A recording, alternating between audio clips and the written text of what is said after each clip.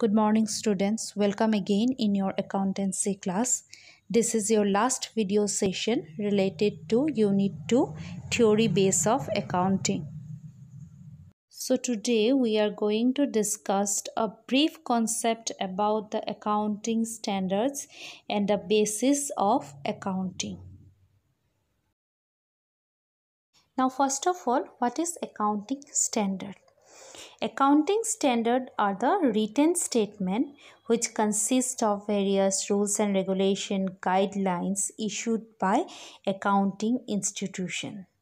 In the area like recognition of financial transaction measurement of financial trans transaction preparation of financial statements and disclosure of various information to various users accounting standard বুলিলে একাউণ্টিঙৰ লগত জড়িত বিভিন্ন ধৰণৰ সংস্থাসমূহে সময়ে সময়ে ওলোৱা বহুত বিভিন্ন ধৰণৰ ৰুলছ ৰেগুলেশ্যন বা গাইডলাইনছ সেইবোৰক কি বুলি কোৱা হয়? একাউণ্টিং ষ্টেণ্ডাৰ্ড বোলা হয়।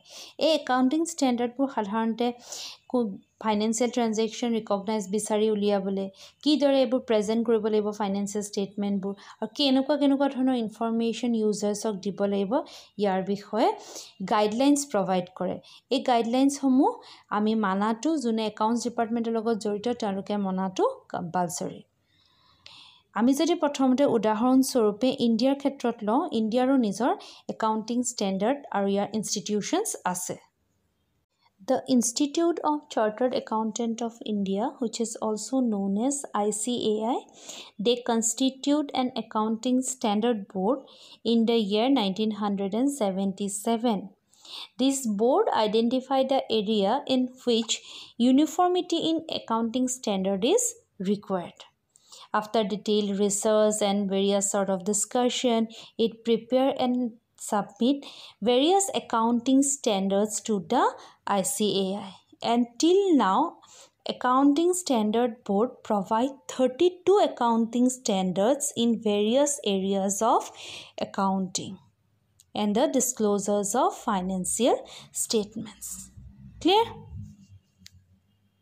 These are the 32 accounting standard provided by Accounting Standard Board. The Institute of Chartered Accountants যাক ICAI বুলি কয় তেওঁলোকে ASB একাউণ্টিং ষ্টেণ্ডাৰ্ড বৰ্ড বুলি এখন বৰ্ড কনষ্টিটিউট কৰে ফৰ্ম কৰে। এই বৰ্ডখনে নাইনটিন হাণ্ড্ৰেড এণ্ড ছেভেণ্টি ছেভেনৰ পৰা একাউণ্টিং ষ্টেণ্ডাৰ্ডৰ ওপৰত কাম কৰি আহিছে। তেওঁলোকৰ মেইন মটিভ হৈছে to maintain the uniformity uniformity এটা মেইনটেইন কৰে। প্ৰতিটো অৰ্গেনাইজেশ্যন ইনষ্টিটিউশ্যনৰে বা কোম্পেনীয়ে যাতে একাউণ্টিঙত এটা ইউনিফৰ্মিটি মেইনটেইন কৰে তাৰ ওপৰত তেওঁলোকৰ মেইন ফ'কাছটো দিয়ে। তেওঁলোকে কি কৰে? কোন কোন এৰিয়াত একাউণ্টিং ষ্টেণ্ডাৰ্ড ফৰ্ম কৰিব? একাউণ্টিং ষ্টেণ্ডাৰ্ড ফৰ্ম কৰিলে কেনেকুৱা ধৰণৰ ইউনিফৰ্মিটি আহিব ইয়াৰ ওপৰত তেওঁলোকে কাম কৰে। আৰু এই একাউণ্টিং ষ্টেণ্ডাৰ্ড বৰ্ডে ইণ্ডিয়াত ওৱান হান থাৰ্টি টুটা একাউণ্টিং ষ্টেণ্ডাৰ্ড দিছে। বেলেগ বেলেগ এৰিয়া কোন কোন এৰিয়াত আমাক একাউণ্টিঙত গাইডলাইনছৰ প্ৰয়োজন হ'ব তাৰ বিষয়ে তেওঁলোকে গাইডলাইনছ প্ৰভাইড কৰিছে। Now, what are the objective or benefit of using these accounting standards? Number one benefit is that it attain uniformity in accounting. By using accounting standard, it brings uniformity in accounting method by proposing the standard treatment to the accounting issues. For example, Accounting Standard 6 revised, they provide method for depreciation in fixed assets and this each and every organization are bound to follow the same method same guidelines related to depreciation of assets clear first benefit কি হ'ব যদি আমি accounting standard use কৰোঁ যে আমাৰ আমি কি কৰিব পাৰিম ইউনিফৰ্মিটি এটা মেইনটেইন কৰিব পাৰিম একাউণ্টিং ষ্টেণ্ডাৰ্ড ছিক্সত কৈছে যে মই যেনেকৈ কৈছিলোঁ থাৰ্টি টুটা আছে তাৰে ছিক্সত কৈছে যে আমি এছেটছৰ ওপৰত যিটো ডেপ্ৰিচিয়েশ্যন ডেপ্ৰিচিয়েশ্যন মানে কিমান এছেটছবোৰৰ ভেলু ইউজ হৈছে বা ডিডাক্ট হৈছে তাৰ কেলকুলেশ্যনৰ এটা মেথড প্ৰভাইড কৰে একাউণ্টিং ষ্টেণ্ডাৰ্ডে ছিক্সে আৰু সেই ফ'ল'টো সেই মেথডটো চব অৰ্গেনাইজেশ্যনে ছেইম মেথড ফ'ল' কৰিব লগা হয়। যাৰ ফলত কি হ'ব? তাহাঁতৰ ইউনিফৰ্মিটি চবে চিমিলাৰিটি থাকিব regarding the depreciation of assets clear বুজি পাইছানে ইউনিফৰ্মিটি একেধৰণৰ একাউণ্টছ মেইনটেইন কৰিব একেধৰণৰ মেথড ইউজ কৰিব যদি আমি একাউণ্টিং ষ্টেণ্ডাৰ্ড ফ'ল' কৰোঁ Second objective of using accounting standard is to improve the reliability of the financial statement. As we have already studied that accounting is the language of business and there are many users of information provided by the accountant who take their decisions regarding their financial issues on the basis of information contained in financial statement. So it is necessary that the financial statement should show true and fair view of the business concern. An accounting standard when used give a sense of faith and reliability to various users. Clear? কোনো এখন business অৰ্গেনাইজেশ্যনত বহুত ধৰণৰ users থাকে। এই ইউজাৰ্ছবোৰে কি কৰে financial মই আগতেও কৈছোঁ যে ফাইনেন্সিয়েল ষ্টেটমেণ্টছ বা একাউণ্টছৰ ইনফৰ্মেশ্যনবোৰ ইউজ কৰি কি কৰে নিজৰ ফাইনেন্সিয়েল ডিচিশ্যন লয়। এতিয়া এই ডিচিশ্যনছবোৰ যে তাহাঁতে লয় তাহাঁতে কিহৰ ওপৰত বেছ কৰে? কমপ্লিটলি ফাইনেন্সিয়েল ষ্টেটমেণ্টছৰ ওপৰত। এই ষ্টেটমেণ্টছবোৰ বনাওঁতে যদি proper accounting statement standard use কৰে তেতিয়া কি হ'ব? ইয়াৰ ফেইথ ইয়াৰ ৰিলায়েবিলিটি কি হ'ব? ইম্প্ৰুভড হ'ব। ইউজাৰে বেছি ভালকৈ ইয়াক ৰিলাই কৰিব পাৰিব। এইবোৰৰ ওপৰত ডিপেণ্ড কৰিব পাৰিব যদি একাউণ্টিং ষ্টেণ্ডাৰ্ড প্ৰপাৰলি ইউটিলাইজ হয়। The third objective of using this accounting standard is that they prevent fraud and manipulation accounting standard can able to prevent or they can minimize the fraud and manipulation in financial preparation of financial statements by codifying the accounting methods and by providing proper rules and regulation and principles in the preparation of financial statements. Accounting standard follow' কৰাৰ ফলত একাউণ্টিঙত সচৰাচৰ হোৱা কিছুমান manipulation সেই মেনুপুলেশ্যনবোৰ কি হ'ব? ৰোধ কৰিব পৰা যাব। কাৰণ একাউণ্টিং ষ্টেণ্ডাৰ্ডে বিভিন্ন ধৰণৰ জেগাত নিজৰ পলিচিজ মেথডলজি ইম্প'জ কৰি দিব।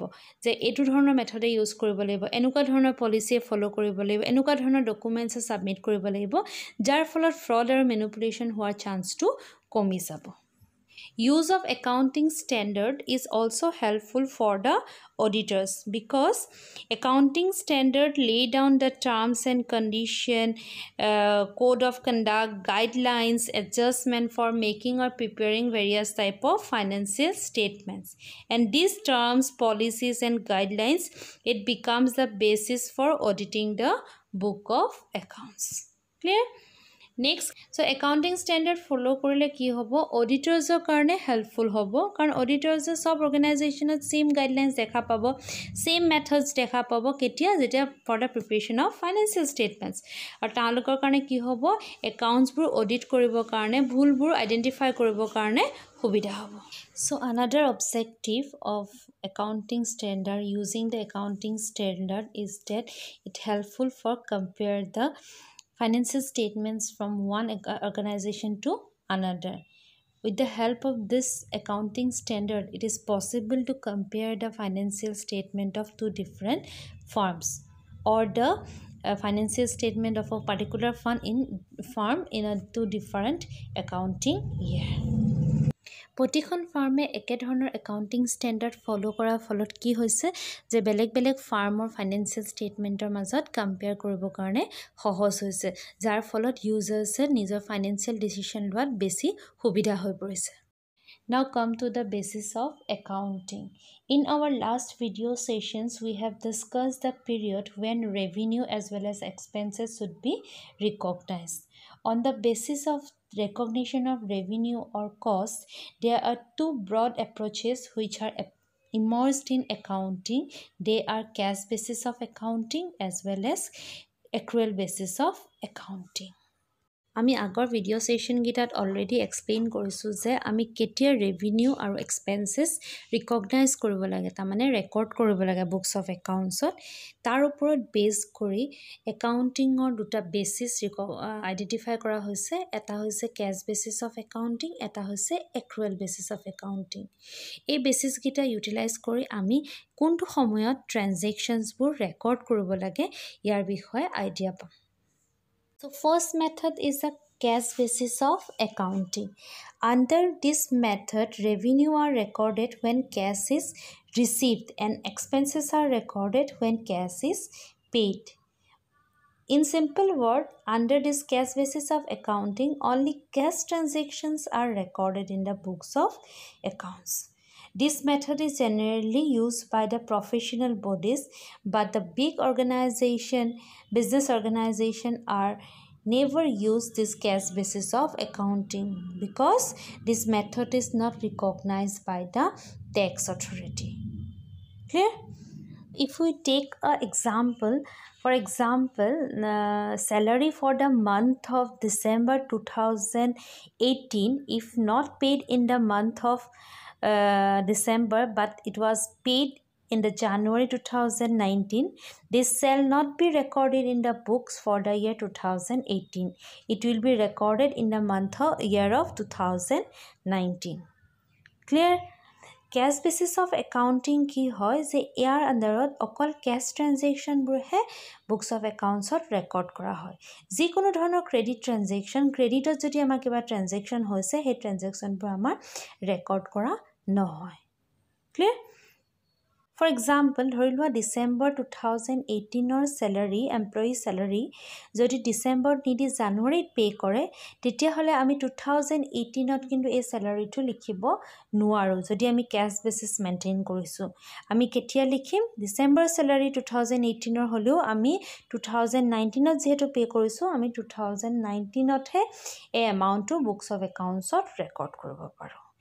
এই মেথডবোৰ generally professionals like doctor engineers lawyers এওঁলোকেহে ব্যৱহাৰ কৰে।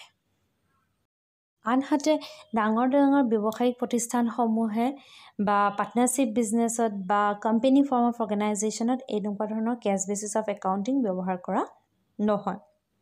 ইয়াৰ মুখ্য কাৰণ হৈছে যে টেক্স অথৰিটিয়ে আমাৰ দেশৰ যি টেক্স অথৰিটি আছে তেওঁলোকে এই মেথডটোক ৰিকগনাইজ নকৰে বা একচেপ্ট নকৰে।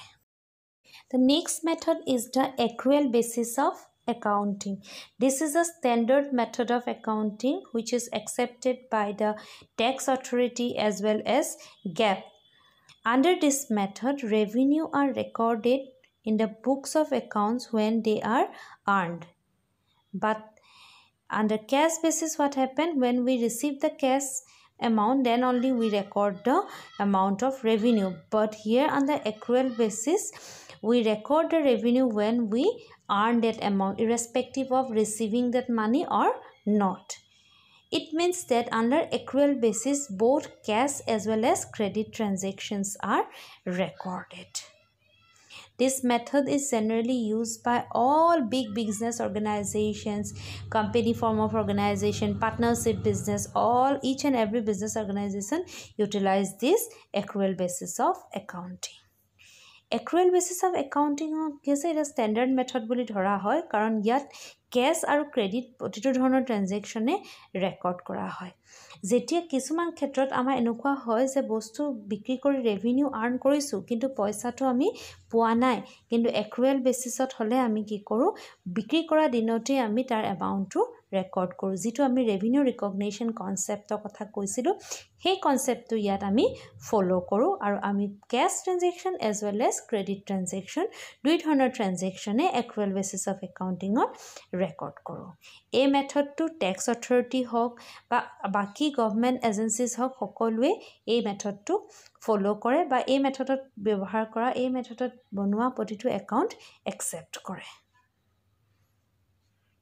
One important question that are আক্সড in exam is that the write the difference between cash basis and accrual basis of accounting এক্সামত অহা কমন কুৱেশ্যন হৈছে যে write the difference between cash basis and accrual basis of accounting number one difference is that In cash basis, we record only the cash transaction, but under accrual basis, we record both cash as well as credit transaction.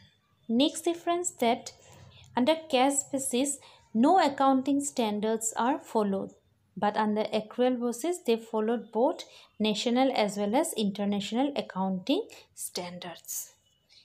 Third difference is that generally account cash basis of accounting is used rarely by the professionals like doctors, engineers, lawyers, etc. But accrual basis of accounting is generally commonly used by all type of business organization. Fourth difference is that in cash basis of accounting, it ensures the inflow and outflow of cash. কিমান পইচা আহিছে আৰু কিমান পইচা ওলাই গৈছে সেইটোহে show কৰে কিন্তু actual revenue as well as expenses of the business it these are shown by the accrual basis of accounting accrual বেচিছতহে actual revenue কিমান আৰ্ণ হৈছে আৰু কিমান এক্সপেঞ্চেছ ইনকাৰ্ড হৈছে শ্ব' কৰে last difference is the limitation cash under cash basis of accounting it does not represent company's overall financial changes over a specific period কিমান financially change হৈছে কিমান assets বাঢ়িছে কমিছে liabilities increase হৈছে decrease হৈছে actual positionটো cash basisে show কৰিব নোৱাৰে কিন্তু businessৰ actual position that means the position of assets liabilities capital these are shown by the accrual basis of accounting complete বিজনেছৰ কমপ্লিট ইনফৰ্মেশ্যন আমি ক'ত পাব পাৰোঁ? একুৱেল বেচিছ অফ একাউণ্টিঙত কাৰণ তাত ইয়াত চব ধৰণৰ ট্ৰেনজেকশ্যনে ৰেকৰ্ড কৰা হয়। ইনকমপ্লিট নহয় কমপ্লিট হয়। কিন্তু কেছ বেচিছত আমি অকল কেছ ট্ৰেনজেকশ্যন ৰেকৰ্ড কৰোঁ আৰু ক্ৰেডিট ট্ৰেনজেকশ্যনবোৰ ইগন'ৰ কৰি দিওঁ। সেইকাৰণে সেইটো কি হয়? ইনকমপ্লিট হৈ থাকে। Clear so' these are the limitations sorry these are the differences between cash basis and accrual basis of accounting So this is the time to sum up our session. On the basis of today's discussions, you can able to answer the following questions. Number one, write a note on accounting standards. Number two, what are the advantages of accounting standards? Three marks. And question number three, write the difference between cash basis and accrual basis of accounting 5 marks. And the question number 3 is your classwork. So complete your classwork on time and submit in my personal number. So thank you so much students. And if you have any doubt regarding today's video session you are free to call me